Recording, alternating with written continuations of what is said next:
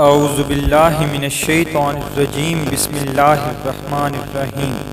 अस्सलामुअलैकुम वरहमतुल्लाहि वबरकातुहु शमाय रिसालत सल्लल्लाहु अलैहि के परवानों एक बार मोहब्बत व शौक से प्यारे आका नूर मुजस्म सैयद दुआलम सल्लल्लाहु अलैहि की ज़ाते पाक पर दरूद पाक पढ़ लें सल्लल्लाहु मुहम्मद बिस्मिल्लाहिर्रहमानिर्रहीम। अल्लाह के नाम से शुरू जो रहमान और रहीम है।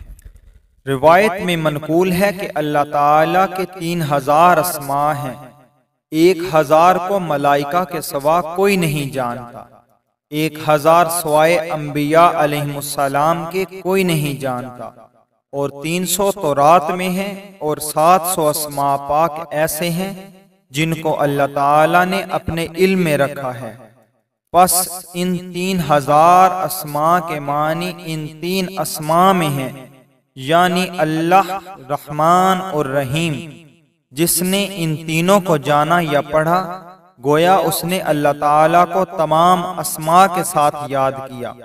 नबी पाक सल्लल्लाहु अलैहि वसल्लम ने फरमाया है कि शब महराज को तमाम बहशतें मेरे सामने पेश की गईं। मैंने उनमें पानी, दूध, शराब और शहद की चार अनहार देखी। मैंने जिब्राइल सलाम से उन नहरों के बारे में पूछा कि ये कहाँ से आती और कहाँ जाती हैं। जिब्राइल सलाम ने कहा कि हुजूर सल्लल्लाहु अलैहि वसल्लम जाती तो हौजे कोसर में हैं और कहाँ से आती हैं? ये आप सल्लल्लाहु अलैहि वसल्लम अपने रब से पूछिए। हुजूर सल्लल्लाहु अलैहि वसल्लम ने अपने रब ताला से इल्तिजा की। अल्लाह ताला की तरफ़ से एक फरिश्ता हाजिर हुआ।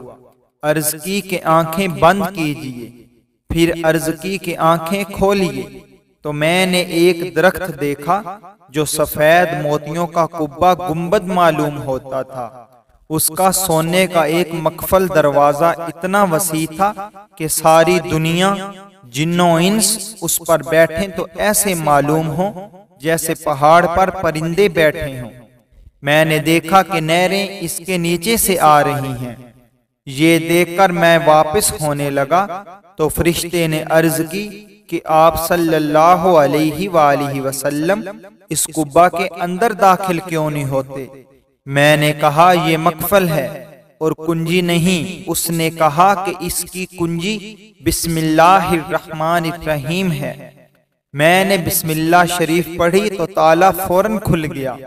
मैं अंदर दाखिल हुआ तो देखा कि इसमें से चार नहरें बह रही हैं, जो चार सतूनों से जारी हैं और चारों सतूनों पर बिस्मिल्लाह शरीफ लिखी है। मैंने गौर से देखा कि पानी की नहर बिसम की मीम से, दूध की नहर अल्लाह की हे से, शराब की नहर और रहमान की मीम से और शहद की नहर और रहीम की मीम से। मालूम हुआ कि चारों नहरों का मंबा बिस्मिल्लाह शरीफ है। अल्लाह ताला ने फरमाया ए महबूब सल्लल्लाहु अलैहि वसल्लम जो शख्स आप सल्लल्लाहु अलैहि वसल्लम की उम्मत से पाक होकर खालिस नीयत से मुझको इन असमा से याद करेगा और कहेगा बिस्मिल्लाहिर्रहमानिर्रहीम तो मैं उसे चार नहरों से पिलाऊँगा। हदीस शरीफ में है कि जिसने वो कागज़ जिस पर बिस्मिल्लाह शरीफ लिखी है, उसकी ताजीम तकरीम की, अल्लाह ताला के नाम को देखकर गुबार किचड़ से ज़मीन से उठाया तो अल्लाह ताला के नज़दीक उसका दर्जा सिद्दीकीन जैसा होगा। और उसके वालदेन से अजाब की तकफीफ होगी, अगरचे वो मुशरक हों। रूम के बादशाह ने हज़रत उमर रदी अल्लाह तहो से बजरिया अरीजा वो खत, जो छोटा बड़े को लिखता है, अर्ज़ की कि मुझे सर में दर्द है। हज़रत सैदना उमर रदी अल्लाह तहों ने उसे एक टोपी भिजवाई। जब वो उसे सर पर रखता तो दर्द थम जाता, और जब उतारता तो दर्द शुरू हो जाता। वो बड़ा मुतअजिब हुआ, जब टोपी को खोला तो देखा कि उसमें एक कागज़ है, जिस पर बिस्मिल्लाह शरीफ लिखी है। नबी पाक सल्लल्लाहु अलैहि वसल्लम ने फरमाया कि मुझे कसम है उस जाते पाक की, जिसके कब्जे में मेरी जान है, कि जिबरील सलाम कसम खाकर मेकाईल सलाम से, और वो कसम खाकर इसराफील सलाम से। और वो कसम खाकर अल्लाह ताला से रवायत करते हैं कि अल्लाह ताला फरमाता है कि, ए इसराफील, मुझे अपनी इज़्ज़त और जलालत और सखावत की कसम। जिसने एक बार बिस्मिल्लाह शरीफ को अलहमद शरीफ से मिलाकर पढ़ा तो गवाह हो जाओ कि मैंने उसे बख्श दिया। उसकी तमाम नेकियाँ कबूल फरमाई और उसके सब गुना माफ़ फरमा दिए। और उसकी जबान को हर गिज न जलाऊँगा और उसको अजाब कबर, अजाब नार, अजाब क्यामत और बड़े खौफ से निजात दूँगा। और वो तमाम अम्बिया औलिया से पहले मेरे हुजूर में पहुंचेगा। हज़रत शेख अहमद बोनी अलैह फरमाते हैं कि शजर हजर बिस्मिल्लाह से मुतफर्रे हुए और तमाम आलिम इसके इसबाब से कायम है। बातबार जमालो तफसील यही वजह है कि जो शख्स इसका विरद करता है, आलिम अलवी और मानवी में उसकी हैबत छा जाती है।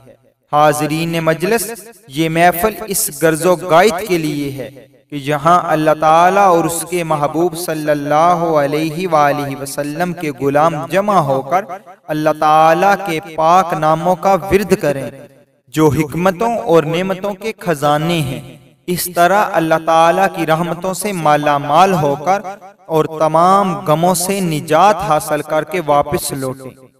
लेकिन इससे पहले ये याद रखें और समझ लें कि ये सारी बरकत और इनामात इनके लिए हैं, जो अल्लाह ताला के महबूब करीम सल्लल्लाहु अलैहि वसल्लम से निस्बत रखते हैं। क्योंकि अगर कोई हुजूर सल्लल्लाहु अलैहि वसल्लम की निस्बत के बगैर इसे पढ़ेगा तो उसको कोई फैज न पहुंचेगा।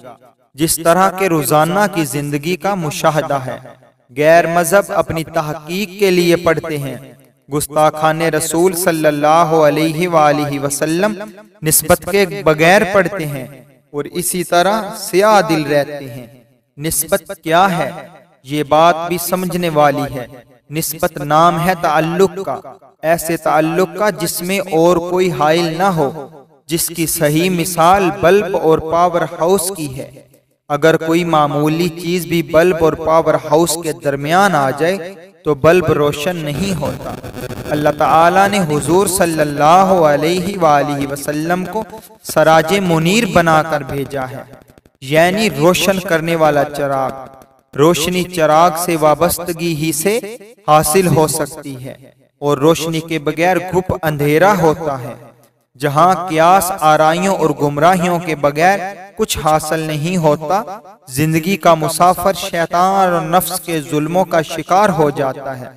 बिल्कुल उसी तरह, जिस तरह कोई गुप अंधेरे की बिना पर दीवार से टकरा जाए, या गढ़े में गिर जाए, या कांटों से उलझ जाए सलामती ईमान के लिए हुजूर सल्लल्लाहु अलैहि वसल्लम से बेलोस मोहब्बत बहुत ज़रूरी है।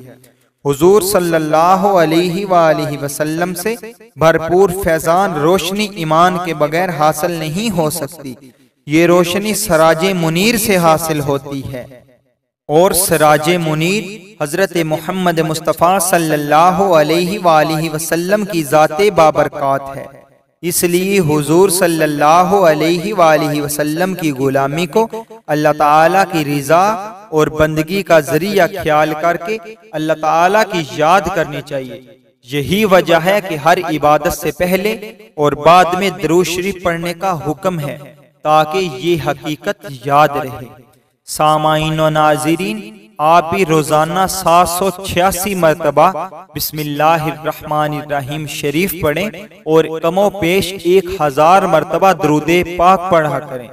मजीद इस तरह के ईमान अफरोज वाक़ सुनने के लिए दरूज शरीफ की फजीलत और अजमत सुनने के लिए हमारे चैनल को सब्सक्राइब करें, साथ बेल आइकन को भी प्रेस करें, ताकि हर नई आने वाली वीडियो आपको आसानी से मिल सके।